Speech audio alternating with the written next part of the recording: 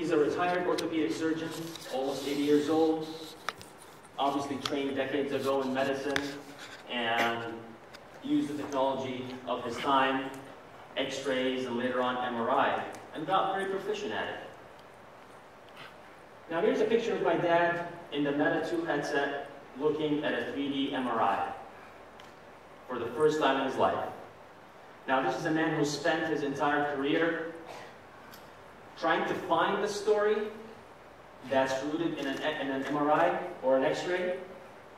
And after all, these are just another storytelling technologies that capture the condition of the patient in a given point in time. And as powerful as they are, they're merely flat media that reduce a patient's entire condition into a single image. It takes an expert, a radiologist or a surgeon like my dad, to actually decode that. And it was always a passive experience for him.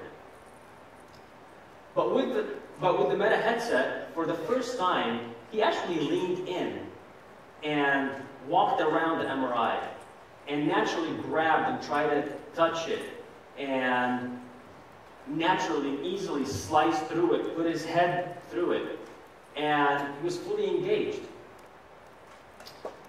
In fact, he was no longer looking at an image, he was actually looking at a patient.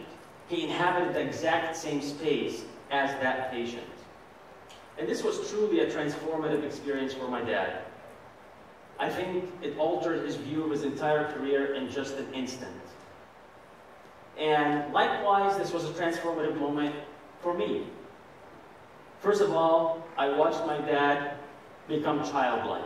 He was playful, he was almost elbowing me, having fun with the, with the hologram, didn't need instruction, was all natural. And he was acting like he was seeing an experience for the very first time. And this stopped me dead in my tracks and made me wonder, how could a trained professional for decades have such a visceral reaction in a field he thought he had mastered? And that's when I realized immersive AR gives us the power to share experiences in a very new way. But what happened with my dad isn't unique or unusual.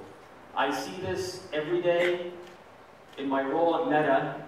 I see hundreds, if not thousands, of customers have the exact same childlike reaction that my dad had, no matter what field they're in. This made me realize the immense benefits that AR brings to us, to both the storyteller and the audience. For the storyteller, it's a more efficient way to create or recreate an experience.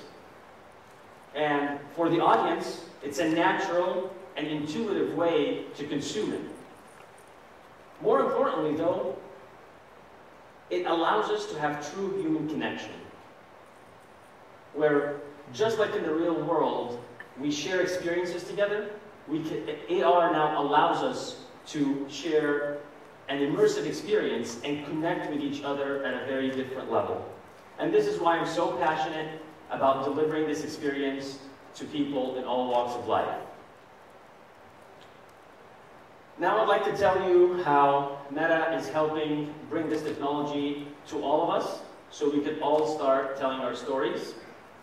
Uh, but I'm standing here feeling like a hypocrite. Here I am telling you the Meta story using slideware, and I think it would be, uh, be more conducive for me to actually give you a demo and drive, uh, dive right into it. All right, so I'm going to put my uh, Meta 2 headset on. And our wonderful team here can show the feed from my camera in the Meta headset so the audience can share. All right, so this is the Meta Viewer beta application. It is the first application in Meta's productivity suite and it allows us to do quite a bit of things here. So you might be familiar with the workspace shelf.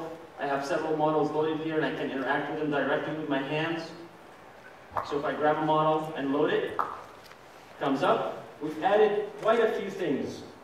Now we have a plate where the model sits, and that plate gives us a lot of information. One second. So I get a lot of metadata here about the model, the scale by which the model is, the name, the version, where it's located. We also added, for the sake of productivity, additional tools on these side plates. So here, I have a plate that I can configure in which way I want, and I can easily bring back with these magnetic strips. So I have the same setup again.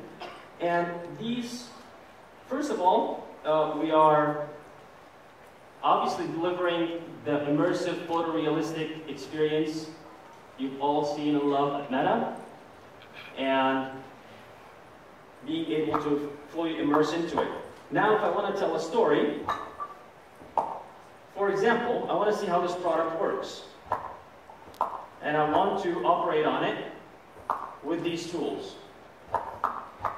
So here's how the drone would be operating. And this now allows me to go from simple visualization to actually adding a narrative on top of a 3D model. And for example, if I wanted to take this in terms of this could be a sales presentation about how a product works, now I want to get into a little deeper into the assembly, the complex assembly, manufacturing, maintenance use cases of how this product is put together. So again, it allows us to operate on the model and start telling and sharing our stories. Meta close.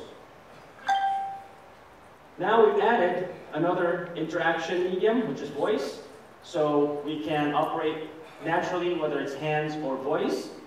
So for example, if I uh, want to open that model again, I say meta open for. Meta open for. All right? And then with my hands I can interact. Meta close. And then for another use case, this is an interior design use case. I may be remodeling my home or I'm an interior designer wanting to show this to customers. Meta rotate by 90 degrees. Meta rotate by 90 degrees. So I can rotate this model, interact with it very naturally. And let's say, um, again, for this type of use case, we want a high fidelity experience where I'm looking at um, the exact details. You can probably read the text on the bookshelf over here.